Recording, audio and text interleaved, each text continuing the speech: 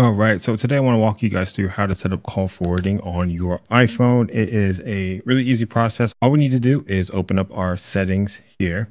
And inside of the settings, we're going to scroll all the way down to the bottom where it says apps. And then we're going to search for the phone app. You can either hit this alphabet thing on the side or just hit search for the phone up top. Here we are. So I'm going to open up this phone app.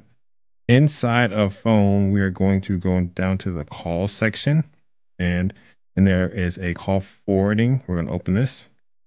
We're going to toggle this on. So it's going to turn green and we're going to select forward to. Here, we're going to put in a number. So